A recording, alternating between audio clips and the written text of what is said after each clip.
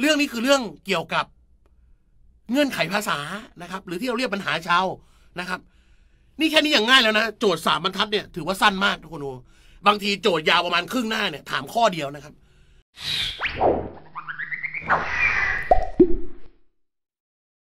เรื่องพวกนี้จะมีโจทย์วนๆเวียนๆอยู่แค่นี้แหละครับนะต่อไปหนึ่งร้อยสิบสองครับ การลงทุนมีความเสี่ยง สุรพลไม่เคยเสี่ยง ดังนั้น อันนี้ได้แต่ตายตัว การลงทุนมีความเสี่ยงคือ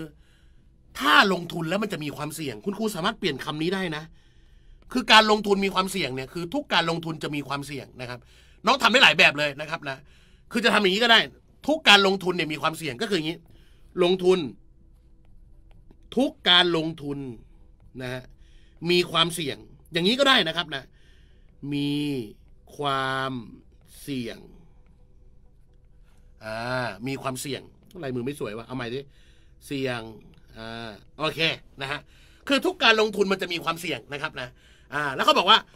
สุรพลเนี่ยไม่เคยเสี่ยง แสดงว่าสุรพลอยู่ข้างนอกนะฮะถ้าสุรพลอยู่ข้างนอกก็คือสุรพลทำไมด้วย ก็ไม่ลงทุนด้วยโอเคไหมเพราะฉะนั้นสุรพลเนี่ยไม่มีความเสี่ยง สุรพลก็ต้องไม่ลงทุนด้วยนะครับนะข้อนี้ตอบช้อยข้อที่สามอะข้อที่สองครับผม สุรพลไม่ลงทุนด้วย ข้อนี้ตอบช้อยข้อที่สองครับผมฝนฟับเลยโอเคไหมเออฝนฟับเลยก็คืออยู่ข้างนอก สุรพลอยู่ข้างนอกนะฮะอยู่ข้างนอกก็คือ ไม่มีความเสี่ยงแล้วก็ไม่ลงทุนด้วย คือถ้าอยู่ข้างในเนี่ยเขาลงทุนแน่ แต่วันนี้พอไม่มีความเสี่ยงต้องอยู่ข้างนอก แล้วก็จะแปลความว่าเขาไม่ลงทุนด้วย ข้อนี้ตอบช้อยข้อที่สองครับผมฝนฟับเลยข้อสองนะฮะต่อไปข้อที่หนึ่งร้อยสิบสามไปต่อนะฮะหรืออีกวิธีหนึ่งอะเห็นแล้วก็นะ อีกวิธีหนึ่งทุกคนจะเติมคำว่าถ้าแล้วลงไปก็ได้นะครับนะ ถ้าลงทุนแล้วมีความเสี่ยงก็ได้นะครับนะ มันเติมได้หลายแบบคุณครู เขียนใหม่นะ อันเนี้ยถ้าลงทุน แล้วมีความเสี่ยง มีความเสี่ยงอ่าอย่างนี้ก็ได้นะครับนะ เราจะมองคำว่าเป็นลงทุนเนี่ยเป็นหนึ่งก็ได้นะครับ ความเสี่ยงเป็นสองก็ได้ อันนี้ใช้อันไหนก็ได้ โอเคไหม ลูอ่าสุรพลไม่เคยเสี่ยงก็คือไม่สอง ไม่สอง ก็ได้นะฮะหนึ่งไปสองมีไม่สองก็ตอบไม่หนึ่งก็ได้ ไม่หนึ่งก็คือไม่ลงทุนก็ได้เหมือนกัน แล้วแต่พวกเราโอเคไหมได้หมดเลยนะครับสองแบบนี้นะคุณครูคือตรรกศาสตร์เนี่ยไม่ว่าจะใช้วิธีไหนเนี่ยมันต้องไปสู่คำตอบเดียวกันนะครับนะไอตัวไอตัวเหตุผลพวกเนี้ยนะครับนะคุณครูต่อไปหนึ่งร้อยสิบสาม A ไม่น้อยกว่า B B เท่ากับ C C มากกว่า D และ M ไม่มากกว่า A A น้อยกว่า N โดยทุกตัวอักษรมีค่ามากกว่าศูนย์แล้วข้อใดสรุปไม่ถูกต้องนะครับ คุณครูข้อนี้เนี่ยมีเขาเรียกไงมีมีมันมีประเด็นดราม่านะครับนะข้อนี้นะครับนะประเด็นดราม่ายังไงอะเดี๋ยวพี่ทำก่อนนะ ขออนุญาตทำแบบคนที่ไม่รู้ก่อนนะครับ คนที่ไม่รู้ว่าข้อนี้มีดราม่ายังไงก็ทำก่อนนะครับทำปกติ คุณครู เรื่องนี้จำได้ไหม ทุกตัวอักษรมีค่ามากกว่าศูนย์ก็คือ เงื่อนไขสัญลักษณ์ ครูผู้ช่วยเนี่ย บางปีไม่ออกนะฮะบางปีออกหนึ่งข้อ บางปีออกสองข้อนะครับ เรื่องพวกนี้นะคุณครูเพราะนั้นตอนทำเนี่ยเราต้องทำไงก่อนครับ เครื่องหมายต้องไม่มีตัวขีดจำได้ไหมต้องไม่มีขีดแบบนี้ก่อน อันดับแรกตอนน้องเจอโจทย์หนึ่งต้องไม่มีเศษส่วนสองต้องไม่มีเครื่องหมายขีดอย่างนี้ ต้องเปลี่ยนก่อนนะครับ เพราะนั้นพี่ขออนุญาตเปลี่ยนโจทย์ก่อนเป็น A มากกว่าเท่ากับ B เท่ากับ C มากกว่า D พอจะเปลี่ยนเป็นนะครับนะ ถ้ามีเครื่องหมายขีดนะครับ กับทิศเครื่องหมายต่างนะครับนะ กับทิศคือจากเดิมมันชี้ที่ A ก็เปลี่ยนไปชี้ที่ B และมีขีดด้วย เดิมไม่มีขีดต้องขีดให้มันด้วยนะครับนะ ต่อไปตัวนี้เหมือนกัน m ตัวนี้ต้องน้อยกว่าเท่ากับ a แล้วก็ a เนี่ยน้อยกว่า n นะครับนะ อ่า โอเคไหมเปลี่ยนโจทย์ก่อน เพราะนั้นโจทย์ตัวนี้ไม่ต้องดูแล้ว ไม่ต้องดูแล้วเปลี่ยนแล้วนะครับนะ เปลี่ยนแล้วนะเขาถามว่าข้อใดต่อไปนี้สรุปไม่ถูกต้องอะเริ่ม ข้อที่หนึ่งพี่ไม่รู้นะว่าเรื่องนี้หลายคนติวกันมายังไงนะครับนะ แต่ลูกศิษย์พี่ทิศเชื่อมสี่ยุบต้องเป็นนะครับนะ ทิศทางคือ m ไป d นะครับนะ M อยู่นี่ D อยู่นี่อ้าวอยู่คนละทิศทางกัน ต้องหาบันไดที่เป็นตัวเชื่อม เพราะนั้น M ก็ต้องไปหา A ก่อนนะครับ เพื่อ A จะมาโผล่ตรงนี้ ช่ไหมฮะ แล้วค่อยไปหา D นี่คือทิศนะครับนะ อะ เริ่ม พี่ขออนุญาตทำเลยนะ ขออนุญาตไม่ปูพื้นฐานนะ ถ้าปูพื้นฐานข้อนี้เรื่องนี้หนึ่งชั่วโมงนะครับนะ ต้องปูพื้นฐานนะครับ ทุกคนเริ่ม เริ่ม M นะ ไปหา A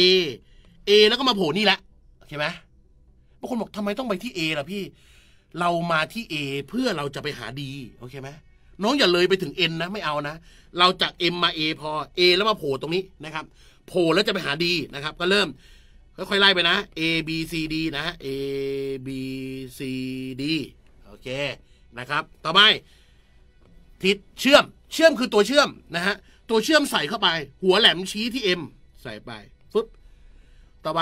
A กับ B A กับ B หัวแหลมชี้ที่ A เออโทษหัวแหลมชี้ที่ B นะครับนะ ต่อไป B กับ C เท่ากันใส่เท่ากับนะฮะต่อไป C กับ D หัวแหลมชี้ที่ D ถ้าเจอแบบนี้ตอบเลยครับ วิ่งเข้าวิ่งออกตอบ มอนอนะฮะยังไงข้อนี้ก็สรุปไม่ได้นะครับนะ ข้อนี้ยังไงยังไงก็สรุปไม่ได้ตอบมอนอนะครับนะมอนอคือไม่แน่ชัดว่ามันถูกหรือมันผิดโอเคไหมฮะเพราะฉะนั้นข้อที่หนึ่งเนี่ยเป็นข้อที่มอนอโอเคไหมต่อไปต่อไปข้อนี้วิ่งออกตอบมอนอแล้วนะต่อไปมาดูข้ออื่นมาดูข้ออื่นอ่าข้ออื่น A ไปดีรู้สึกว่า A ไปดีนี่ชัดเจนนะ A ไปดีเนี่ย A B C D ชัดเจนนะ หัวแหลมชี้ที่ B เท่ากับแล้วก็ D นะฮะทิศเชื่อมสียุบยุบได้เลย ยุบเป็น A นะฮะ A กับ D ยุบ เครื่องหมายศักดิ์ศรีตัวไหนสูงสุด ตัวที่ไม่มีขีดศักดิ์ศรีสูงสุดก็คือมากกว่า เพราะฉะนั้นข้อ2เนี่ยถูกต้อง ข้อนี้ไม่มีปัญหานะฮะไม่มีปัญหาโอเคไหมต่อไปต่อไปจ้า B กับ N B อยู่ไหนเนี่ย B อยู่นี่ N อยู่นี่ อ่า เพราะนั้นจะเริ่มจาก B เนี่ย เราจะไม่ไปหา D นะครับนะ เพราะว่าเราจะไปที่ N ใช่ไหมครับ เราต้องเริ่มจาก B แล้วไปที่ A A ก็จะมาโผล่ตรงนี้ แล้วก็จะมาที่ N ได้นะครับนะ เพราะนั้นเริ่ม B นะ B B แล้วมา A A แล้วมาตัว A ตัวนี้นะครับ แล้วก็มา N นะ เริ่ม B กับ A เนี่ย หัวแหลมชี้ที่ B ใส่ขีดด้วยนะครับนะ N A กับ N หัวแหลมชี้ที่ A อย่างนี้นะครับนะเออหัวแหลมชี้ที่ A เดี๋ยวนะ เอ้ย ชี้ผิด เดี๋ยวนะ ตรงนี้ผิด ตรงนี้เนี่ยแม่อาจารย์แก๊ปยังพลาดเลยทุกคน หัวแหลมชี้ที่ A นะเอาโทษหัวแหลมชี้ที่ B ต้องมาชี้อย่างนี้ อะ B เออเนี่ยแม่อาจารย์แก๊ปยังลอกพลาดเลยนะครับนะ โอเคไหมต่อไป B กับ N ยุบศักดิ์ศรีตัวไหนสูงสุด หูตัวที่ไม่มีขีดศักดิ์ศรีสูงสุด เพราะนั้น B น้อยกว่า N ถูกไหม ถูก โอเคไหมอ่า เพราะนั้นข้อนี้ถูกสองข้อแล้วนะ ต่อไป อ่าทำได้แล้วไม่มีคำตอบครับอ่าเดี๋ยวมาดูนะ เดี๋ยวมาดูนะอ่าต่อไปฮะ A กับ M A กับ M มา A อยู่ไหน A อยู่นี่ M อยู่ไหน อยู่นี่อ่า A กับ M เอาตรงนี้ก็ได้นะครับนะ เพราะนั้น A กับ M A กับ M เขียนก่อน A กับ M นะฮะหัวแหลมเนี่ยชี้ที่ M นะฮะชี้ที่ M มีขีดด้วยนะครับ เพราะฉะนั้นสิ่งที่เราทำได้เนี่ยคือ A มากกว่าเท่ากับ M นะครับนะ A มากกว่าหรือเท่ากับ M นะครับนะเขาถามว่า A มากกว่า M ไหมถ้าอย่างเงี้ยข้อ4นะครับ A มากกว่า M ไหม A มากกว่า M ไหมไม่แน่เหมือนกันนะครับนะว่า A เนี่ยมันมากกว่า M ไหมโอเคไหมเพราะนั้นอันนี้ก็ตอบว่ามอนอเหมือนกันนะปีนั้นเนี่ยคุณครูครับ มีมอนอสองข้อ คือข้อหนึ่งกับข้อสี่คำถามคือ แล้วกูตอบข้อไหนวะเนี่ยนะเข้าใจไหมแล้วกูจะตอบข้อไหนเนี่ย ปีนั้นเป็นอย่างนี้เลยทุกคนครับช้อยเป็นอย่างนี้เลยอาจารย์แก๊ปตั้งใจจะไม่เปลี่ยนเลยนะครับ ปีนั้นช้อยเป็นอย่างนี้นะครับเพราะฉะนั้นวันนั้นเนี่ยคุณครูจะต้องคิดแล้วว่าน้องจะตอบข้อไหน น้องตอบข้อไหนอะน้องคิดว่าน้องจะตอบข้อไหน ถ้าเป็นน้องอะก็มันมอนอสองข้อเลยอะนะครับตอบข้อไหนอะน้องตอบข้อไหนกันอะบางคนไม่ได้ทำข้อสี่นะตอบข้อหนึ่งเรียบร้อยแล้วนะครับนะคุณครูตอบข้อไหนกันนะจะจะดูคอมเมนต์หน่อยนะ แล้วบางคนบอกไม่อะกูทิ้งไปแล้วโจทย์ข้อนี้กูไม่เอาอะนะบางคนไม่ได้นะโจทย์เรื่องนี้นะทุกคนตอบข้อไหนบางคนบอกข้อสอบมันมีข้อสอบผิดด้วยเหรอพี่โอ้ทุกคนรู้น้อยไปแล้วนะครับ ใครยังไม่เคยสอบเนี่ยไม่รู้หรอกนะครับ ข้อสอบมีผิดอยู่นะครับนะมีผิด บอกไว้เลยนะ ปีนั้นเนี่ยนะครับนะถ้าเป็นอาจารย์เนี่ยนะครับนะอ่าคุณครูข้อสี่ขอยัดไม่อธิบายนะครับ เพราะพี่พูดอธิบายไปในคลิปติวปูพื้นฐานแล้วนะครับว่า สิ่งที่เราทำได้คือ A มากกว่าเท่ากับ M นะครับนะเขาถามว่ามากกว่าหรือเปล่านะครับ ไม่มากกว่าไม่แน่ชัดด้วยว่าจะมากกว่าหรือเปล่านะครับนะอันนี้ประเด็นเนี้ยสอนไปแล้วนะครับ ซึ่งไม่ขอยัดไม่ขอพูดนะครับ เพราะว่ามันเป็นประเด็นที่ต้องอธิบายกันนะครับ ยาวเลยพูดไปแล้วนะครับ แต่ประเด็นวันนี้นะครับ ที่คุยอยู่ตอนนี้คือมันมอนอสองข้อนะครับ ถ้าเป็นอาจารย์ อาจารย์ตอบข้อหนึ่งถ้าเป็นอาจารย์อาจารย์ตอบข้อหนึ่งเพราะอะไรครับหมดเพราะอะไรก็มันมอนอสองข้อ เพราะว่าข้อนี้เนี่ย อาจารย์คิดว่านะครับเขาอาจจะลืมพิมพ์ไอตัวเข้ากลับตรงนี้ไป เข้าใจไหมฮะเขาอาจจะลืมพิมพ์หรือไม่ก็พิมพ์ตกหรือไม่ก็อะไรสักอย่างอะเข้าใจไหมฮะคือถ้ามันมีขีดตรงเนี้ย มันตอบเหมือนกันเลยคือข้อนี้ถูกโอเคไหมแต่ข้อหนึ่งเนี่ย มันชัดเจน มันวิ่งเข้าวิ่งออกชัดเจนตอบมอนอได้เลยนะครับ นะโอเคไหมอ่าเพราะนั้น ข้อที่สี่เนี่ยยังไงก็ผิดนะครับนะ ข้อสี่นี่ยังไงก็ผิดนะครับ ไม่ถูกแน่นอนนะครับ เพราะฉะนั้น ข้อที่สี่เนี่ย อาจจะพิมพ์ขีดผิดไปเข้าใจไหมฮะตอนที่คนพิมพ์อะคนพิมพ์ข้อสอบนะครับ เพราะฉะนั้นข้อเนี้ยยังไงก็ตอบข้อหนึ่งนะครับเพราะข้อหนึ่งเนี่ยไม่มีอะไรผิดแน่นอน วิ่งเข้าวิ่งออกหัวมันออกอย่างนั้นอย่างเงี้ยนะฮะยังไงก็ตอบมอนอแน่นอนนะครับ เพราะฉะนั้นวันสอบก็ต้องมันต้องใช้เซนส์นิดหนึ่งคุณครูนะครับ ใช้เซนส์นิดหนึ่งนะ เพราะนั้นคุณครูตอบแล้วนะ ประเด็นนี้นะอาจารย์ตอบหนึ่งนะครับ แต่วันนั้นเนี่ยคุณครูข้อนี้นะ ถ้าใครยังไม่เข้าใจนะครับว่าทำไม อันนี้ใครยังไม่เข้าใจนะทำไมสิ่งที่ทำได้คือตัวนี้ แล้วโจทย์ถามตัวนี้ โจทย์ถามว่า A มากกว่า M ไหมจึงตอบมอนอเนี่ยใครไม่เข้าใจน้องต้องไปทวนแล้วนะครับนะต้องทวนอย่างมากเลยนะครับนะ ในทางกลับกัน ถ้าเราได้ A มากกว่า M แล้วโจทย์ถามนะฮะ A มากกว่าเท่ากับ M ไหมอย่างเงี้ยถูก เอาล่ะงงแหละนะครับนะไปดูเลยนะ อันนี้ผิดกันเลยนะคุณครูถ้าเราทำได้ด้านบนคือ A มากกว่าเท่ากับ M นะครับแล้วก็ถามว่ามากกว่าไหมตอบว่ามอนอเพราะไม่รู้ว่ามากกว่าหรือเปล่า เพราะมันเราทำได้ว่ามากกว่าหรือเท่ากับนะครับนะโอเคไหมนะเพราะว่าถ้ามันมากกว่า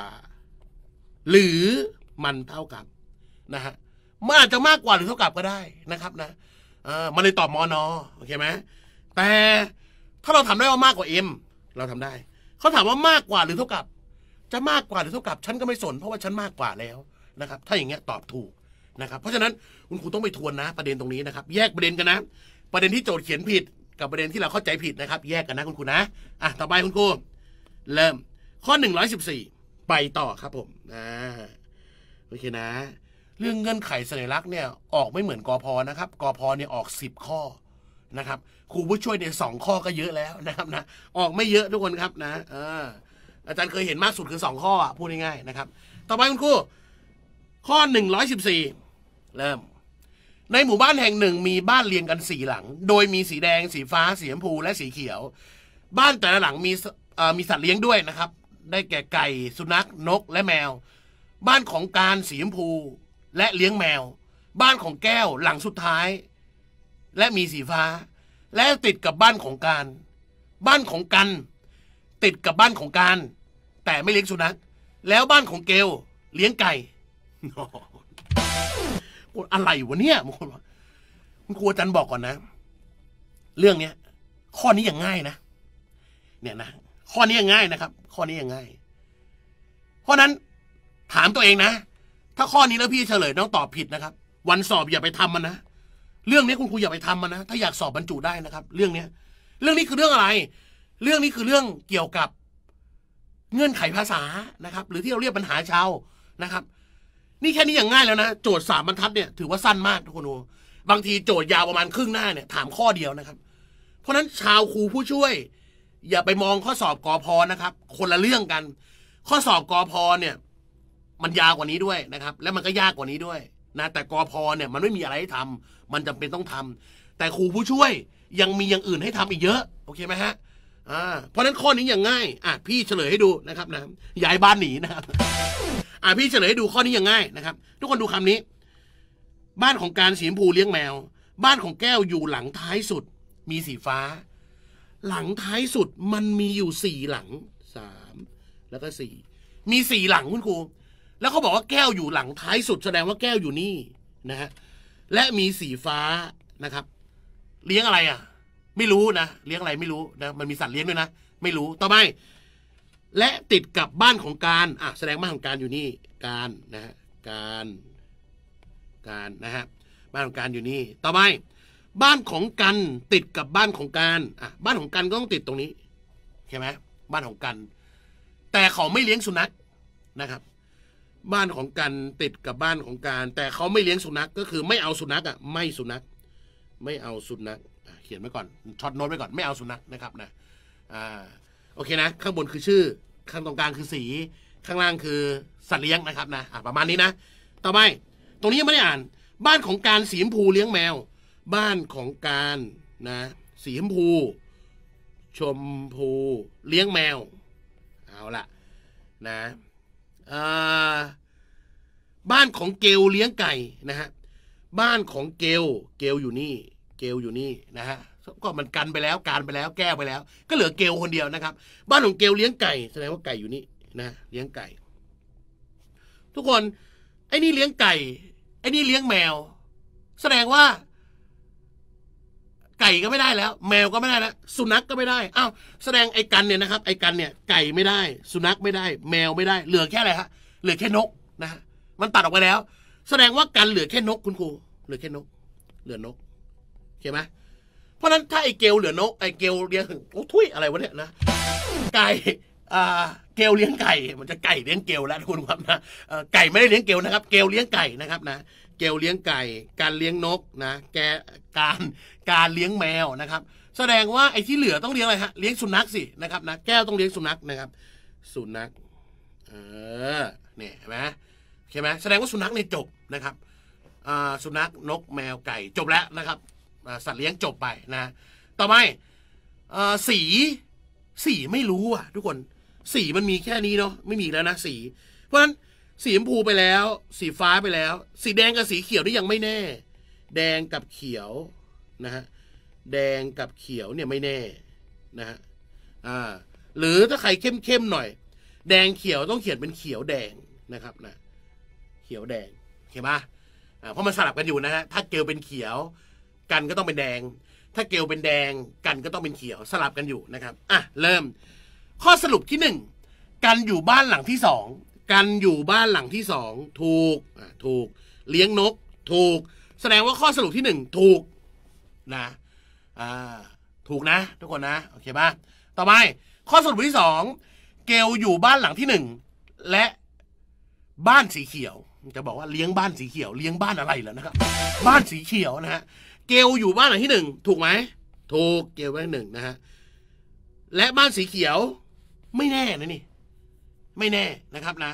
โอเคไหมเพราะนั้นอันนี้ถูกอันนี้ไม่แน่นะ ไม่แน่นะครับนะ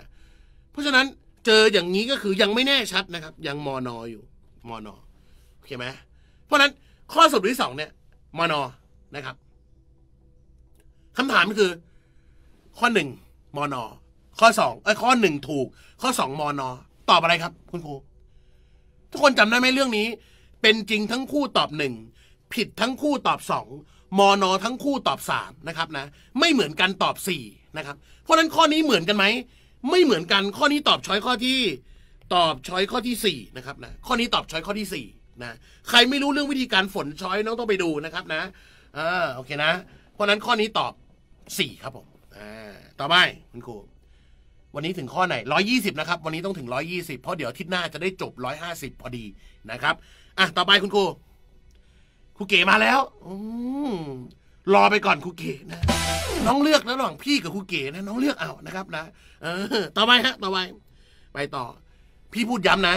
ใครทำข้อนี้ผิดนะครับ ที่ไม่ได้ตอบสี่นะครับ ใครไม่ได้ตอบสี่นะ วันสอบจริงอย่าไปทำมันนะครับ ข้อสอบแบบนี้นะครับ เพราะข้อนี้คือง่ายแล้ว เท่าที่พี่เจอมาทั้งหมดเนี่ยข้อนี้คือง่ายแล้วโอเคไหมเพราะฉะนั้น